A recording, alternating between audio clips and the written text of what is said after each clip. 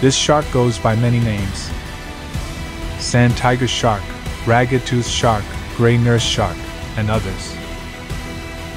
It has a menacing appearance. Despite this, it is gentle around people. And there are zero confirmed human fatalities attributed to it. The sand tiger shark has three rows of protruding, smooth edged, sharp pointed teeth. These help it to grip its prey, including fish, crustaceans, squid, and skates.